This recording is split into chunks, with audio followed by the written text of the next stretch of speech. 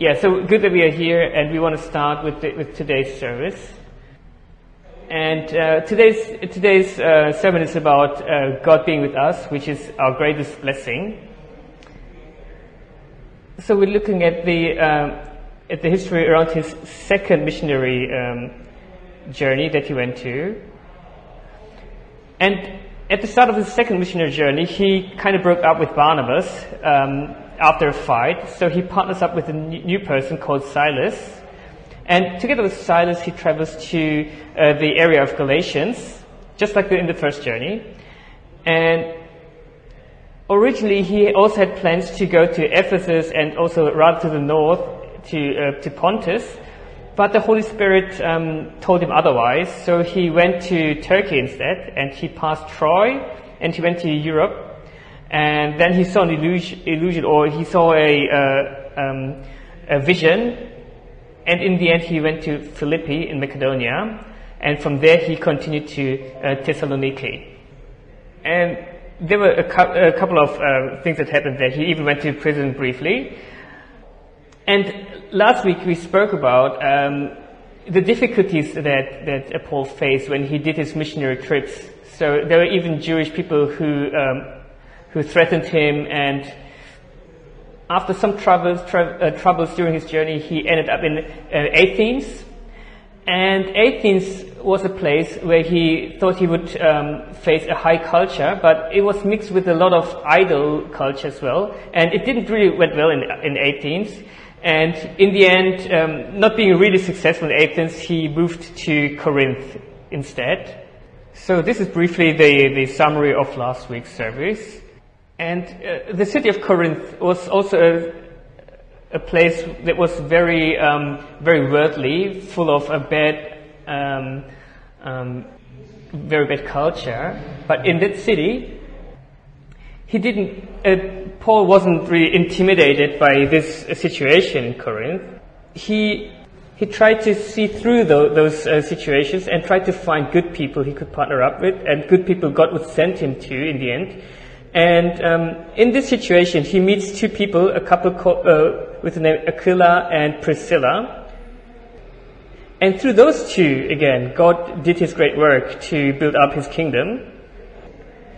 So what, what is the, the kingdom of God? King, the kingdom of God is, is a place where the values, uh, the values of God, His laws and regulations are in place. And this church should be a place where, where we experience God's, uh, God's nation, God's kingdom, but also our cell groups and even our families. Every gathering we have with other brothers and sisters in Christ, this is the place where the kingdom of God is present.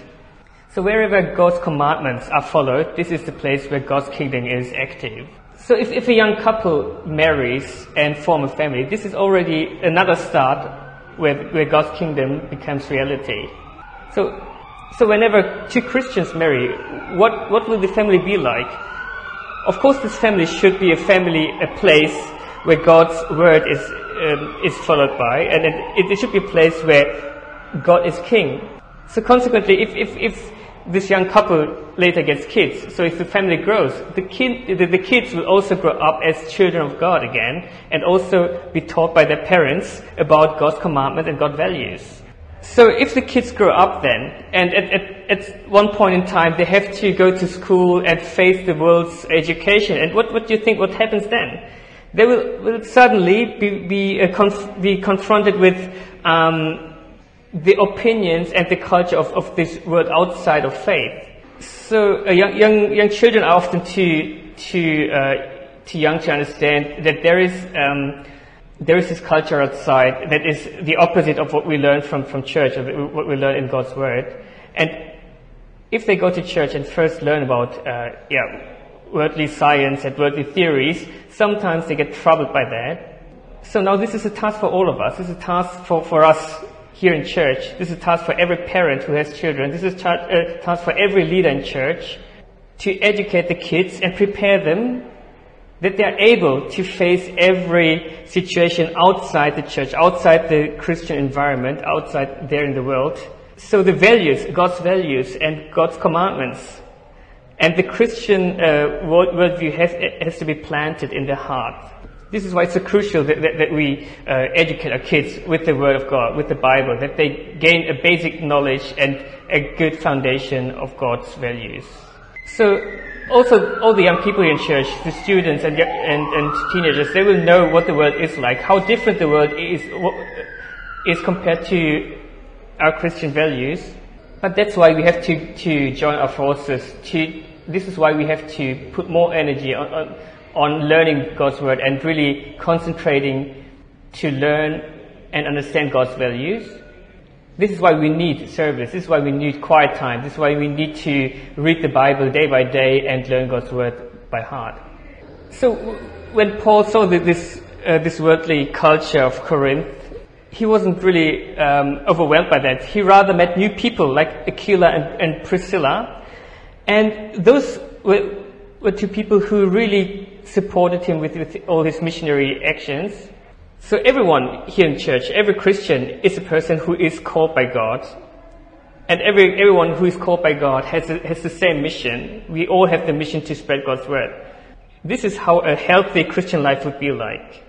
But that again means if, if we meet other Christians also with the same calling like we do, we can directly partner up and we can directly start to do God's work. It's not just having new friends or having a good relation to other people. The, the, the main reason why God sends us other Christians is that we can team up to do God's work and follow God's commandments. So also when, Paul uh, met Aquila and Priscilla, they, of course, they had a good relationship, but that was not the, the, the main reason to meet each other. They started to, to, to educate and, and, um, to motivate each other and to help out each other to, to grow in, in God's faith, in faith in God, and also they, they, they teamed up to become missionaries as a, they became a missionary team together. And Paul and, and this young couple, they started to, to, to, um, make a common goal. They wanted to go together to the end of the known world and spread God's word. And in the end, um, God had different plans for Aquila and Priscilla, so they, they remained in Corinth and, and did their service in that place, but still, they started to have a common goal, and this common goal was to do God's work and to uh, be missionaries under God's commandment. So whenever Christians meet, this, this becomes a very special relationship. It's, it's not just, just some people meeting up and having a good relationship and having a good time together. So, uh, when, when Christians meet and when Christians team up, a, a very energetic force happens, and, and God can use those people to, uh, to do His will and to, to spread His word in this world. So now the cell meetings of 2021 have restarted. So when we meet each other, it's, it's just, just, that we're just meeting up because we're in the same church and we're just having some, some small group meetings. It is about becoming a team, a dream team, a team that, that will do God's work. It's about become co-workers or partners under God's commandment. So if we're in, in, in ourselves, looking at the others, we should see people like Paul, or we should become people like Silas or Timothy. We should become a dream team and also expand our dream teams. Whenever we meet new people in Christ, we should add them to our group, and uh, we should, um, yeah, create a holy, holy team that uh, becomes um, light and salt in this world. Um, so the next step is Paul then um, um, left Silas and Timothy in Berea, and he um, he then came to Corinth alone. And in verse five, we read we can read that um, the, verse 5 says, When Silas and Timothy came from Macedonia, Paul devoted himself exclusively to preaching, testifying to the other Jews that Jesus was the Messiah. Next week we're going to talk about the letter Paul sent to uh, in Thessaloniki. So it seems like Paul came to um, um, Corinth when Timothy was still in Athens. And through Timothy, he, he gets the news that in Berea and, and other, in, in the church of Thessaloniki, um, there were some troubles in church. There were some, some false teachings in, in the church. This is why then Paul writes his letter and sends his letter to the uh, Thessaloniki church through Timothy. And what we can assume about Silas is, uh, in his case, um, he probably was at the church in, um, of Philippi, and um, Silas and Timothy uh, were, were um, split up for a while and did their um, did their work uh, separately, and then they all met again together with Paul with Paul in Corinth. So j- just whenever Paul um, met his uh, co-workers or partners like uh, Priscilla and and uh, Aquila, or also Silas and Timothy, whenever they came together, it was a very energetic group. It was a it was a, a very it was a very dynamic group who, who could, when they joined forces, could do great works for God. So the same should apply to our cell groups now. From we, we, we start the cell groups again, and when we meet in the cell groups, we should have a very positive synergy. Uh, we should be partners and co-workers under God's rule. And through the cell, we should do God deeds. And God can do uh, great work through, through our ministry and our cell groups. And this should be our target for the year 2021 when we restart the cell groups. So through our, meetings, we, we, should be able to spread God's word and, and, get people to church and tell them what God's uh, plan for this world is. Verse 6 says, But when they opposed Paul and became abusive, he shook out his clothes and in protest and said to them, Your blood be, uh, be on your own heads. I'm innocent of it. From now on I will go to the Gentiles. So even, even though Paul went to the people and gave them the good news and he wanted to to just, just um, save all those people from the sin. But many people were hostile and they harassed him and they wouldn't um, welcome him for his, uh, for his message. And this is something that can happen to anyone of us. It can happen even in, inside our cell groups that we invite people, that we try to uh, preach God's word, that we try to um, invite them to God's family. But there can be conflicts. It, and, and it always can happen that even people from the same cell group can leave the group or leave the church because they, are, they have a different opinion or um, they are not conforming to the word of God anymore. So this can happen to any one of us. And in many situations, the world will be hostile towards us. And if, if you look at Daniel, for example, uh, when he was in uh, Babylonia, he, he still stood firmly in God's, uh, God's word and, and, in his faith. And he continued to pray every day and he continued to, continued to live a, a worthy life. And we should follow, uh, follow um, the example of Daniel as well. In this world, we should stay firm in God's word. And what we will see is that at some point that God will start to act and that God will be the person who will, um, who will move people or put the right seed in their hearts. So in verse 7 and 8, we, um, the word says, Then Paul left the synagogue and went to next door to the house of Tite, uh, teaches just, uh, justice, a worship of God. Crispus, the synagogue leader, and his entire household believed in the Lord, and many of the Corinthians who heard Paul believed and were baptized. So, therefore, never despair, never give up, because even though the word might seem hostile, even though um, your um, preaching, your, your mission work might might seem not very efficient or very successful, at some point you will see that, that God is in the background working on some people, that you will meet the right people, or you will see that God changes hearts of, of some people uh, you wouldn't even expect. So I repeated that, that quite often recently, but um, this is why I ask you to become a dream team with, with, within your cell group and also a good, uh, good companion, a good partner for the people. In verse 9, uh, the Bible says, One night the Lord, Lord spoke to Paul in a vision, Do not be afraid, keep on speaking, do not be silent.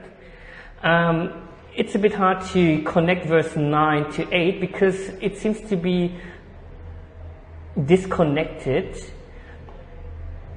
And uh, that's what we believe, that verse 8 to 9 is not a, not necessarily a connected story. There might be a little time gap in between. And uh, the, the word says um, at night, but um, it could be also translated as one night. So one night after um, all the um, all the stories before the verse eight. So at one night, God speaks to Paul, and he tells him not to be afraid. So why does God tell him not to be afraid? We can assume that God tells him not to be afraid that he was in some trouble or that he actually was afraid and he needed God's guidance. But when we look at the Bible so far, we see that Paul seemed to be very courageous and that he was very bold to, uh, to do God's word and to do all his mission work. And um, he seemed always very motivated. You, you hardly could reckon that, that he was in, in some um, trouble or he, that he was afraid of his further path. And we also c- could assume that, that Paul was a person with great skills. Um, he, he, was someone who was very um, skilled in, in, in preaching and, and writing, and he was very well educated. But now, when we read verse 9, we learn that there was a different side of Paul that we haven't maybe seen so far. Paul was also afraid. He was scared and um, he had a hard time. He probably also had difficulties to uh, stay stable in his field of mission, uh, ministry, and um, he probably had, had this felt this pain of being rejected all the time. And there, there were people who were uh, who, who, rejected Paul many times, and sometimes he even uh, had to experience uh, threats against his life. And just imagine, or maybe some of you guys have experienced situations like that, like racism, or you go to some place and, and you get rejected, or um, you hear some, some racist comment, and all those situations. And if you have experienced things like that, you might maybe understand what situation or what feelings uh, Paul had at this time. So, in what situation was Paul in? Just remember, for example, when we read chapter 17, when he went to Athens, and there he also tried to spread God's word. He, he also wanted to, to, um, to um, find new Christians or uh, lead people to, to, to Christ, Jesus Christ. But uh, in the end, he wasn't very successful with that because the people were too hostile. The people um, rejected him, and he had he had no other choice in the end to leave Athens again and go to a different place. And this is how he ended up in Corinth instead. And, and in, in Athens, he was confronted with uh, other people who were very strong um, debaters. And um, maybe we, we, all thought that Paul was a very strong speaker, that he was uh, um, very good in debating. But when we read in Second Corinthians, um, in verse 6 of chapter 11, he writes as follows He says, I may be indeed untrained as a speaker, but I do have knowledge. So uh, Paul was very well educated, but maybe um, debating people was, wasn't the easiest thing for him.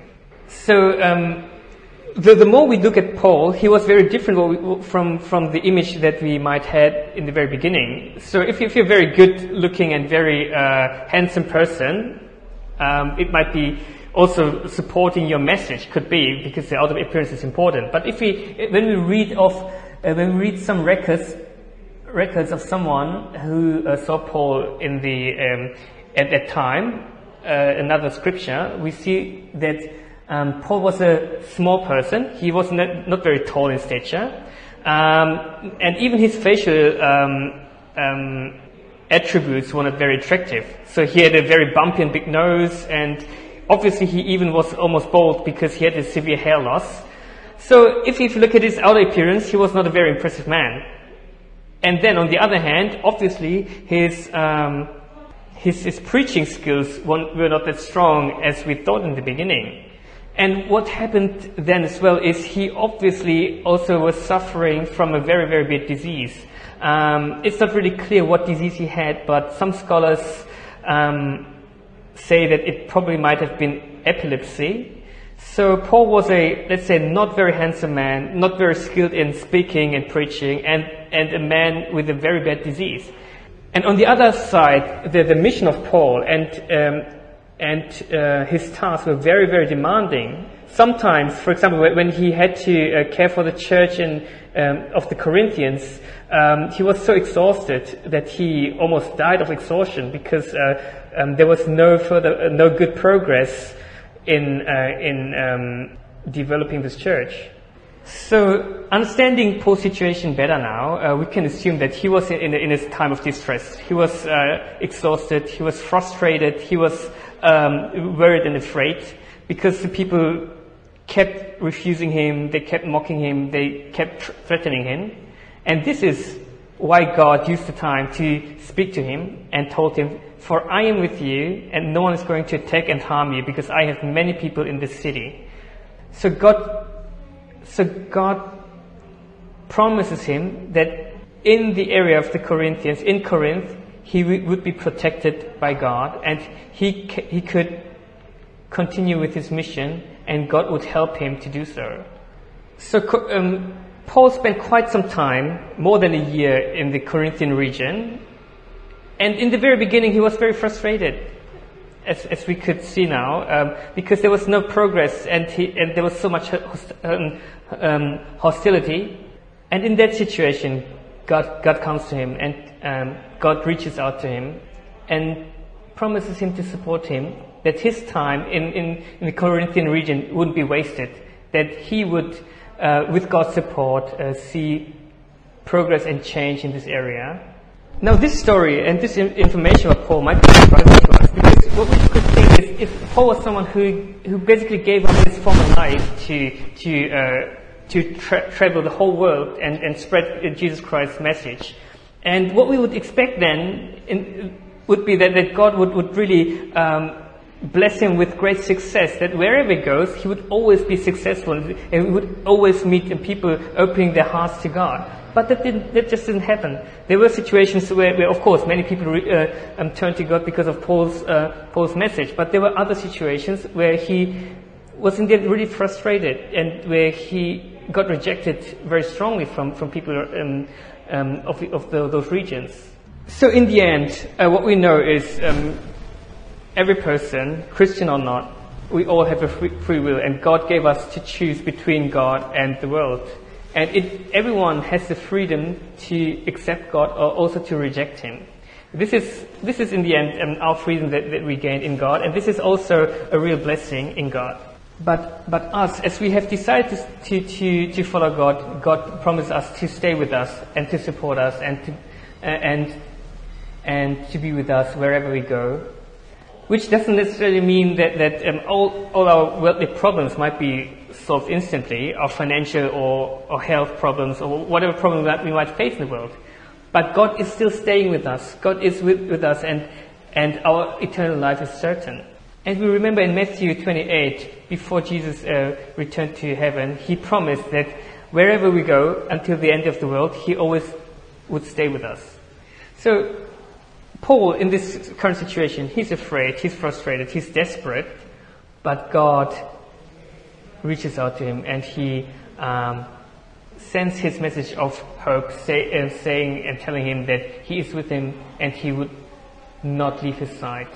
And also, even if, if, if this, this place where, where, where, Paul was, was active at that time in Corinth, even though the, the, the, the, um, the city seemed to be like a obscene and bad place to, to, um, to preach the gospel, in the end, um, Paul could be certain that at some point his preaching and his message would bear fruits. This is what we have to learn and understand, and where we have to put more trust in God. It's, it's in the end, it's not us um, changing the people's heart. It's not the, the, service, the good worship, or maybe uh, getting new programs in church that would attract the people. In the end, it's God acting. So in the end, if, if we spread the word, uh, uh, word of God, it, it is like sowing seeds.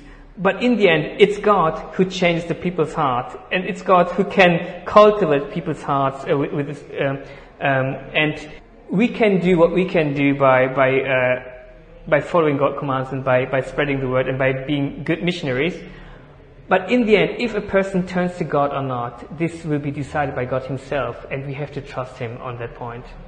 So we are just harvesting, but the real action is done by God, and this is the, the, the um, this is the trust we have to uh, we have to have in God, and this is also the, the peace we should have in our hearts when we uh, do mission work. So even even sometimes when it seems like the church is not growing, the, the cell group is not growing, and our mission missionary work doesn't have any success, um, we shouldn't forget that it is God always being active, and, and at some point, some people will be moved by God, and it's God who actually, um, let's say, fertilizes the hearts of the people. And in the end, this is why God encourages Paul to not to be afraid and not to stay silent, but keep talking, keep spreading God's love and God's word.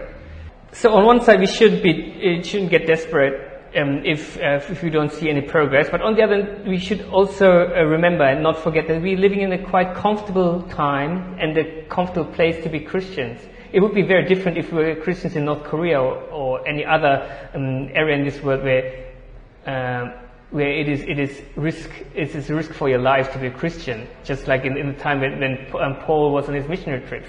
But maybe it is because it is too comfortable that we sometimes forget the real meaning of God's word. We get very comfortable and we, um, we call ourselves Christians, we keep calling ourselves Christians and we keep going to the church and to the services, but our hearts get filled with, with worldly thoughts and worldly desires as well. And ch- the church and our meeting should be a place where we get educated in the Word, where we get prepared for uh, uh, for uh, for God's work.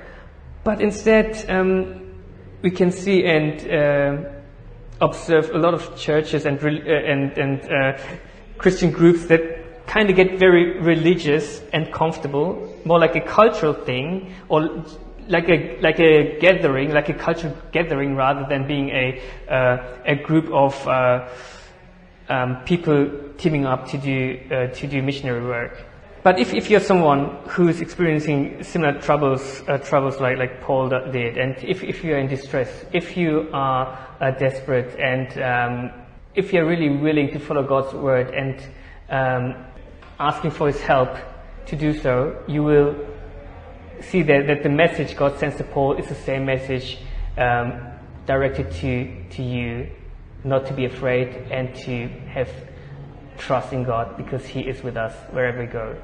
So how we can see Paul's life, how we can try to understand the, the, the book of uh, uh, the Acts is, it is not necessary about those special people, not, not necessarily about, about Paul alone, not about uh, any disciple. It, it could be the story of any Christian, of any person who is willing to follow, who is willing to, to spread the, the word of God, telling that Jesus Christ is the Messiah, that we should repent and turn to God. And at that, at that time, it, it happened that Paul or, or the other disciples, those people were the, the ones that God used at that time. But it could have been anyone. It could be um, those saints at that time who, who followed God, who did the mission were, were, were, the people like Paul, Barnabas, or Silas, and so on. But this could be the same, the, the, the, same story and the same life could apply to any one of us, could apply to myself and to any one of you. And in the end, it's not us doing the work, it's God doing His work through us, through the Holy Spirit. And this is why the Holy Spirit made Paul remember um, all the things he, he had experienced uh, before. So, so he, he, he kind of asked Paul, do you, do you remember all the, the, the, things that happened to you? Do you remember the previous time where, where, where I, the Holy Spirit, helped you? And it's not, it's never your skill. It's never your ability to do something, something. It's the obedience. It's the obedience that allows God to act through any person. So this is, this is important for us to understand. The, the book of Acts is not an old story about some people in the past. It's a story about any person who is willing to follow God's word. And if, if we reflect on our own lives, own lives, if, if we have the feeling that being Christian is hard, if we have the feeling that sometimes it feels very alone to, to work that path, uh, we, should, we shouldn't be disappointed or we should never despair. Jesus promised that He would always stay with us. He would never leave our, our side. And we should understand God is not looking for a person with great abilities. He is looking for someone who is obedient. He's not looking for the strong people. He's looking uh, for the people who are weak in, in front of God and follow Him. Because if we depend on God and not ourselves, God will be able to work through us through the Holy Spirit and we will see great, great things happening through our lives because we are willing to be obedient, we are willing to follow Jesus and we are willing to give Him the space He needs to act. So in the end, through uh, God's encouragement, um, Paul regained his his spirit, and uh, we and he continued to obey. He continued to do God's work, and we can read in verse 11 that Paul stayed in Corinth for a year and a half, teaching the the word of God. So. Don't forget that if we, if we meet in the church, in a cell group, or whatever Christian meeting gathering we do have, there's only one main reason why we do meet. It is, first of all, to be, become born again Christians and to spread God's word to other people. And we, and we, as a church, we as Christians should never put any other focus uh, to our meetings and gatherings than this essential and this basic message God has for us and He asks us to, to spread. So in the end, the only word that should be taught in the church is God's word and nothing else and not no other teaching. And because people um, um, tend to forget, remember that in the divided kingdom of, of Israel, um, some, uh, uh, some kings started to, to um, follow the idol culture. And there were reforma- a, a couple of times when God used people to, to do some reformations. That was the same when, when in the um, mid age, uh, the Catholics, the Catholic churches had um, become corrupt, and he used Martin Luther and other, um, other reformers to uh, to put the focus back on the word and uh, to put the focus back on faith because this is in the end what, what, what God asks us to do. And we should, we should care that, that our church and that our meeting stays, stay clean. We remember when, when Jesus went to temple and did, and, um, uh, cleaned the temple uh, from, from all sinful things. And this shouldn't be anything that happens to one of our churches. Our church, whenever Jesus comes in, whenever Jesus looks at our church, should be a clean church, should be a church that, um, um, that concentrates on word and faith. In 2 Timothy uh, um, chapter 4, um, the, the, Bible says, In the presence of God and of Jesus Christ, who, who will judge the living and the dead, and in view of his appearing in his kingdom, I give you this charge Preach the word, be prepared in season and out of season, correct, rebuke, and encourage with great patience and careful instruction. So when we, when we preach the Bible, when we teach the Bible, we, sh- we shouldn't uh, add or, or, or change or distort the word. We should really stay on focus, uh, stay in focus and stay tied to, to God's word. Um, if, if you look, look uh, in today's world, you see that, that um, it, it's a world of, of, of quickly changing trends. For example, fashion changes all the time. The fashion you, you wore like uh, 20 years ago is completely different from what, we, what you wear right now. And this is normal, and you will see that the world will keep changing. But as a Christian, um, of course, you, you, to some to some point uh, we are living in the world, and, and, to some point we are adapted to this world. But when we, when we speak about God's word, when we speak about the uh, when we, when we talk about the conduct of the church, it shouldn't change. It shouldn't follow any trend. It shouldn't it, follow any, any fashion because God's word is unchanging. But you will see that, that, that people will, will uh, request other things. You will see that, that um, preaching the Bible will be very unfashionable, will be very unpopular, and people coming to church will expect to hear, let's say, comfortable words, words of comfort, words of hope, words of uh, whatever, as long as it, as it is comfortable and pleasing to, to listen to. But we should stay inside God's word. We should, uh, and we know what, what God's, God's word is about. We shouldn't change it in any case. So, uh, Jesus, uh, Paul stayed in Corinth for one and, one and a half years, and during the time he also wrote um, letters to the uh, Thessalonican church. And next week we will start to talk about those uh, letters he wrote. And um, yeah, that's the word for today. Let's pray.